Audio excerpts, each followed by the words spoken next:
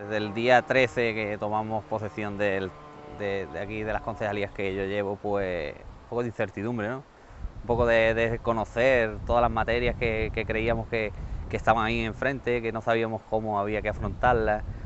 Como tú bien me has preguntado antes, pues yo había trabajado mucho en la oposición, había tomado mucho contacto con los agricultores, con toda la gente del mundo del campo, la gente del mundo del caballo, ¿no? Lo, conocía, venía con ellos ya de hacer muchas actividades, ¿no? Entonces te vas creando una idea, ¿no? De cómo tú quieres enfocarlo, por dónde quieres ir, cuáles son las ideas que ellos te han transmitido para tú llevarlas a cabo, ¿no? Entonces ahí es donde cuando tú empiezas a trabajar. Es cuando te vas dando cuenta de cuál es el mundo de, de las concejalías, ¿no? Definitiva, cuando yo llegué, pues al principio, pues ya vuelvo a repetir, mucha incertidumbre.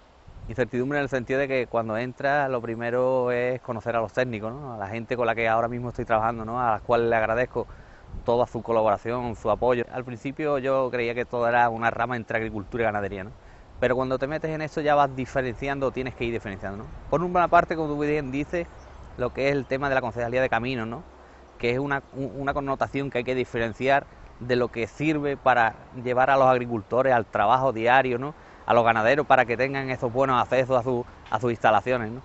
Nosotros cuando llegamos pues vimos todas las posibilidades que había, todos los proyectos que quedaban por resolver, toda la, incertidumbre y sobre todo una cosa que hicimos fue escuchar a la gente. La gente venía con mucha demanda, de muchas preguntas, de mucha incertidumbre, qué había pasado con ese gran proyecto que se quedó ahí estancado, que no salía hacia adelante. Ellos nos decían que, que con la con la dificultad económica que habían pasado, ¿no? que cómo se había metido en, ese ambiente, en, esa situación, ¿no? no tenían las ideas claras. ¿no? Pues me refiero al, proyecto de, los 21 caminos, ¿no? que fue una inversión grande que apostó el anterior equipo de gobierno, que no vio la luz por los motivos que todo el mundo ya sabe y que económicamente pues se ha quedado ahí estancado y desgraciadamente pues a este equipo de gobierno le va a tocar devolver la parte del dinero que, que vino a, este municipio. Y nuestra iniciativa fue pues empezar a ver cuáles eran los problemas que había, a ver dónde estaban las partes peores. E hicimos también mucho hincapié en el tema de la limpieza de las cañas.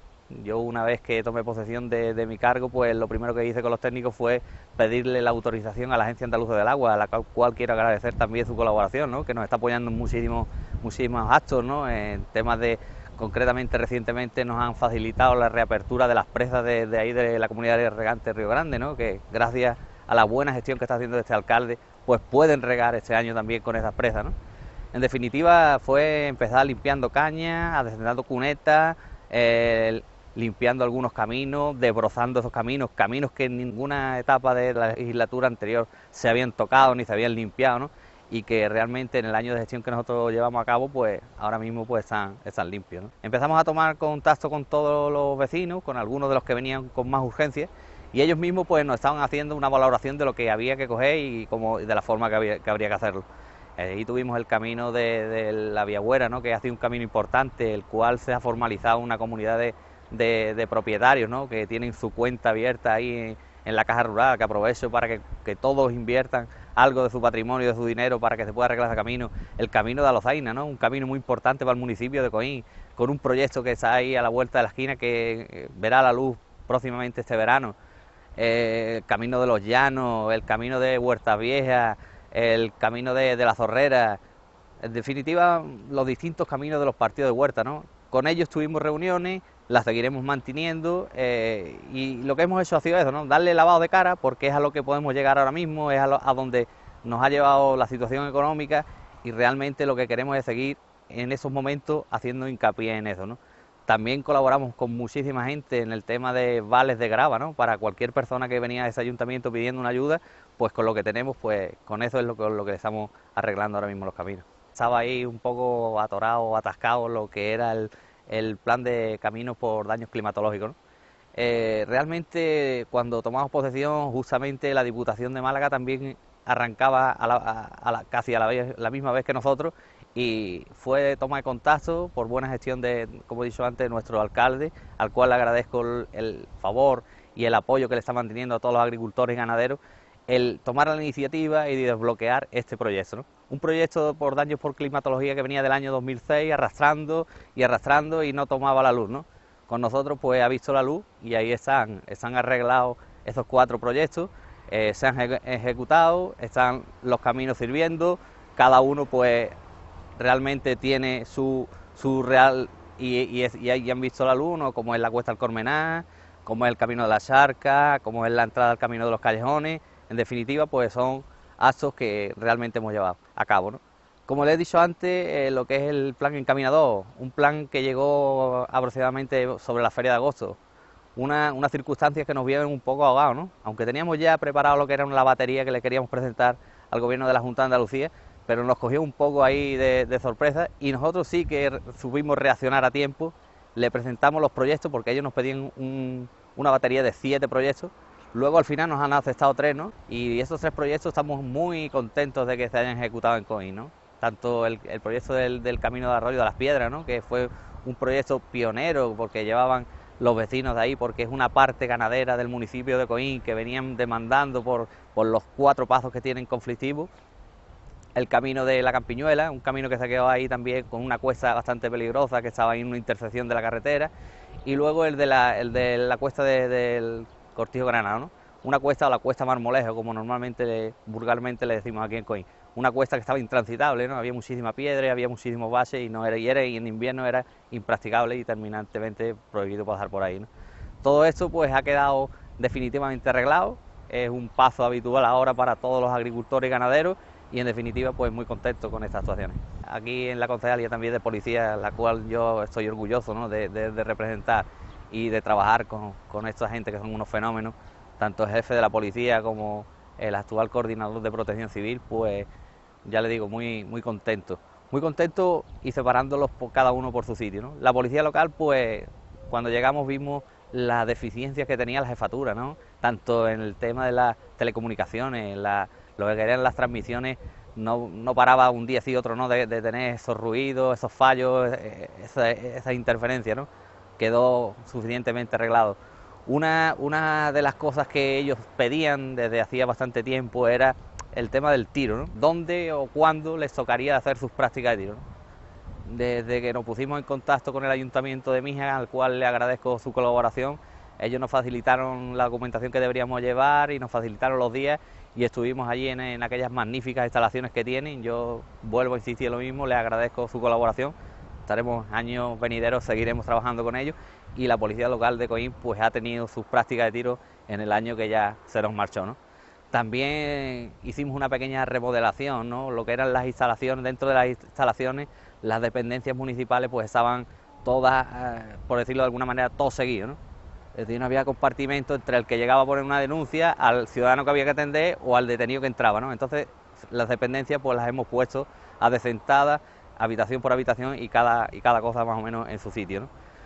Luego por parte de lo que es la protección civil, protección civil pues encantado, voluntariado de Coín al cual le agradezco muchísimo todas las actuaciones que, han tenido, ¿no? Recientemente acabamos de terminar la romería, hay que felicitarlos por el apoyo que han tenido allí con nosotros, eh, con la Guardia Civil, con la Policía Local y lo magnífico que trabajan y ya digo, y me reitero, porque es que son voluntarios, es decir, no cobran nada y siempre están al servicio del ciudadano. Sobre el mes de noviembre, pues el ayuntamiento recepcionó lo que eran las instalaciones del antiguo parque de bomberos, un parque que se queda instalaciones para el municipio, que puede ser la nueva sede comarcal del Parque de, Protección Civil de Coín. ¿no? Estuvo el diputado provincial Adelán Lucena, al cual le agradezco la visita, al cual le agradezco el apoyo que está manteniendo el municipio de Coín, y él nos dijo de su propia boca y sus propias palabras que Coín sería la sede comarcal de protección civil. Hace unos cuantos meses también tuvimos ese convenio de colaboración entre la unidad de rescate canina y eh, protección civil y el ayuntamiento de Coín. ¿no? Es algo ya que viene siendo habitual ¿no? en este ayuntamiento, los convenios de colaboración que se están firmando ¿no? entre las diferentes entidades y a las cuales queremos agradecerles ¿no? la colaboración que mantienen con el ayuntamiento ¿no? y el ayuntamiento con ellos. ¿no?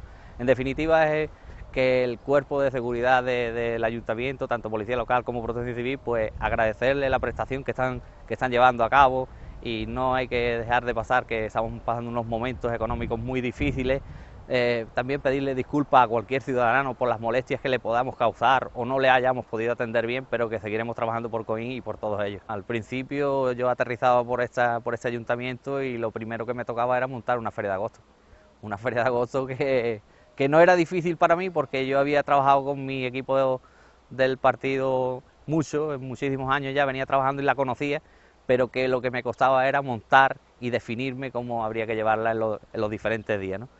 Una, una feria de agosto que había que recortar, una feria de agosto en la cual había muchísimos días para, para montar festejos y para que la gente se, divirtiera, pero que de alguna manera teníamos también cuadrado cuál era el dinero que nos teníamos que gastar. ¿no? Y una feria de agosto que comparada con otros años anteriores habíamos reducido muchísimo, casi a un 30% que habíamos reducido en esta feria y a la cual nos sentimos muy orgullosos del equipo de gobierno de esa magnífica feria, por ese cambio tan bueno que hicimos dentro de lo que eran los actos de festejo y en los cuales todo el pueblo de Coín quedó muy agradecido. Lo mismo que venían las fiestas para adaptarlas al verano, pues las tuvimos que adaptar también a la parte de invierno y dentro de ella pues estaba la parte de Navidad que ha sido para nosotros uno de los, de los acontecimientos más grandes. Uno de los acontecimientos más grandes porque desde que llegamos pues vimos la posibilidad de mantener contacto con las diferentes empresas, ¿no? Y las diferentes empresas me refiero, le hago el agradecimiento a todos los pasteleros y, panaderos del, municipio de Coín, porque tuvieron esa idea tan magnífica de montar ese roscón gigante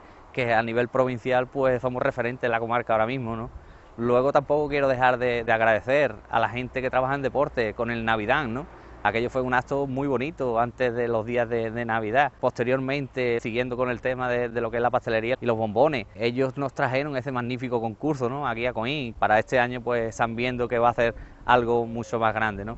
Tampoco quiero dejar de pasar los diferentes tipos de eventos que ha habido, como el tuning, el tuning que todos los años nos acompaña, ¿no? Este año por las circunstancias económicas pues está un poquito más flojo, ¿no? Pero lo que es la participación casi se ha mantenido, ¿no? Con el nivel de, los coches que han traído, ¿no? Ha venido gente hasta de, de Lérida, de Barcelona, hemos tenido gente del norte de, Galicia, hemos tenido gente de, Bilbao. La verdad es que muy contento por seguir con todo eso. Y económicamente pues seguimos igual, ¿no? Manteniendo los eventos y haciendo los mínimos gastos.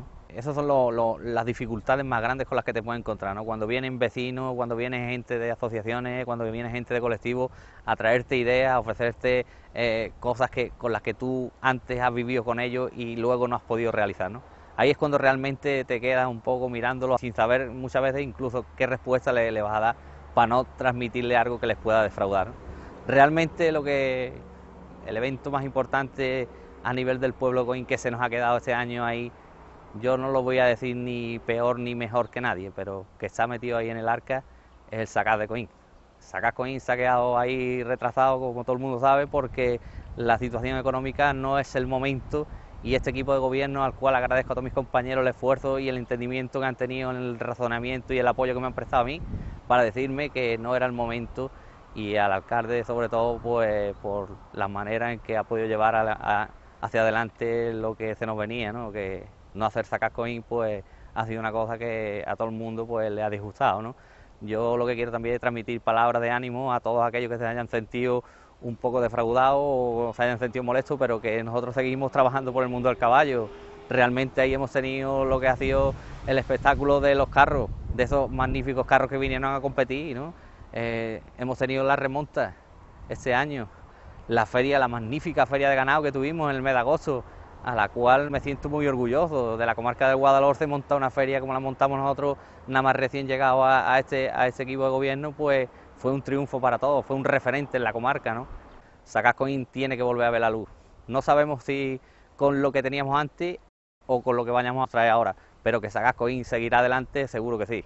Nosotros vamos a apostar por ello, apostaremos de diferente manera como como lo han hecho los gobiernos anteriores, pero que Coin verá la luz próximamente. El tema de festejo, lo que nosotros tratamos desde este equipo de gobierno es tener la referencia de nuestro recinto ferial. Un recinto ferial al cual nosotros le estamos poniendo muchísimo cariño y agradezco todo lo que están haciendo los servicios operativos y su concejal por trabajar por este, por este sitio. ¿no? Eh, un recinto ferial que nosotros emplazamos, no sabremos si este año que entra o el que viene podamos tener ya para ubicar realmente nuestra feria, nuestros actos, nuestros espectáculos, todo lo que traigamos a Coín, que tengamos una referencia y que tengamos un punto donde todo el mundo se pueda concentrar. ¿no? Eso es uno de los, de los, logros que intentamos desde la Concejalía de Festejo llevar a cabo y, en ello estamos trabajando. ¿no? También otro de los, de los, retos que tenemos para, cambiando un poco de, versión, el, la Concejalía de Camino es el proyecto que tenemos de los tubos de Río Seco. El proyecto de los tubos de Río Seco le transmito a todos los ciudadanos que nos estén viendo de ese partido de huertas de ahí abajo que no se impacienten, que todo va a llegar y este proyecto está viendo la luz, está viendo lo que le falta al proyecto, que es la parte económica, que la está viendo y que próximamente pues va a ver la luz y, se hará realidad. Por las circunstancias de las concejalías que me tocan, a mí quizás sea de los concejales con los que más la gente tenga referencia o pueda hablar, ¿no? Yo lo que trato en el ámbito de todo el que me conoce es de escuchar a la gente, ¿no? El escuchar a la gente y sentirse escuchado es lo que te favorece y lo que de alguna manera pues te desinfla esa presión que tú llevas acumulada durante todo el tiempo y puedes desarrollar lo que tú quieres decir o lo que tú quieras expresar. ¿no? Yo le transmito a todos los ciudadanos que me estén viendo que estoy dispuesto a hablar con ellos de todo lo que quieran, que me transmitan sus ideas, que yo les voy a escuchar y que si en algo me he equivocado, pues también soy humano y que, que en otra vez pues que me cuenten de otra manera y a lo mejor mi interpretación pues será diferente.